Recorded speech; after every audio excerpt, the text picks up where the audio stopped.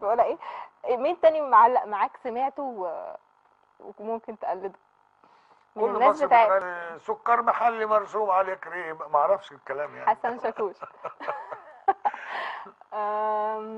مين تاني؟ وعندي ال- البت حفيدتي المجرمة دي. تقعد تقول لي عود البطل عالي عود ال- غالي يرخص ليك الغالي ماسكيني بقى في. هم اللي بيضايقوني بالأغاني بتاعت المهرجانات دي.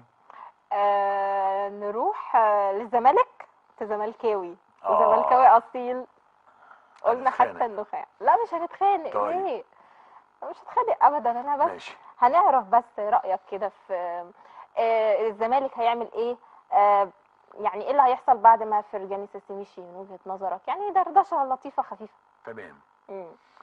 آه... وإحنا عملنا إيه بعد ما فاروق جعفر وحسن شحاته مشيوا؟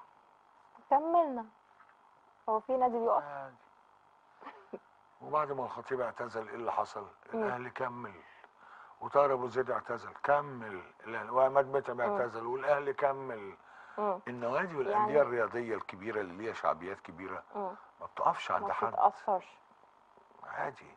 وهيطلع براعم تاني وهيطلع ناس تانية يعني الزمالك مش هيتأثر برحيل فرجاني ساسي لا طيب آه، كترة ال- آه، المشاكل الفترة دي من برأيك يعني هي اللي مأثرة على آه، أثرت على الأداء؟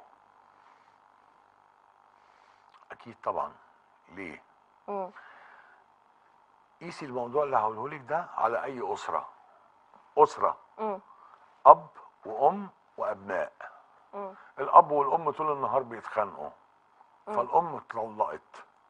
هذه ال- الأبناء هيبقوا أسوياء؟ لا. قولا واحدا. يبقى الإدارة أو الرأس الكبيرة الهيد طيب. غير مستقر. منزل غير مستقر. وبالتالي تبقى الأسرة غير مستقرة. فالعيال مش طيب هيلاقوا إحنا حد للأسف إيه؟ مش معانا وقت؟ فإحنا آه تفتكر مين الأقرب للدوري السنة دي؟ ها؟ إجابة سريعة. الزمالك. الزمالك عشان بص طبعا. هشجعه حتى بتمنى. لو حصل إيه. طبعا بتمنى. طيب خلاص آه، آه، للأسف كان نفسي تقلد لي لعيب كورة بس ال- الوقت انتهى. آه، شرفتنا ونورتنا وكانت حلقة لطيفة وجميلة. و عزيزي المشاهد أحب أقول لك اضحك للدنيا تضحك لك ما تنساش. ونشوفكم بكرة موضوع هام جدا في أيامنا الحلوة.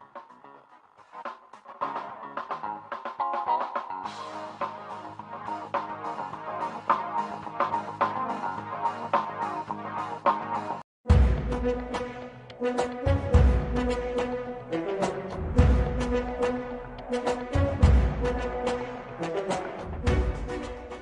سنة 2009 تم تأسيس شركة أفرولاند.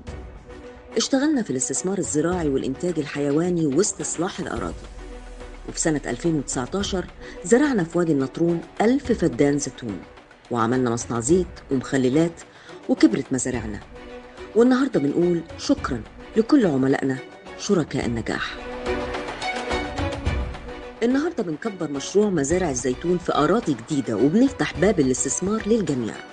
وكمان هنزرع في المنيا ألف فدان بنجر بالقرب من أكبر مصنع حديث لسكر البنجر. استثمارك معانا يعني امتلك عشر فدادين في أحد مزارعنا وهنأجر منك الأرض بعائد إيجاري سنوي 80 ألف جنيه. استثمارك معانا من أعلى معدلات الأمان. عشان فلوسك بتكون في أرضك وقيمة الأرض بتزيد. أفرولاند استثمار بفكر جديد.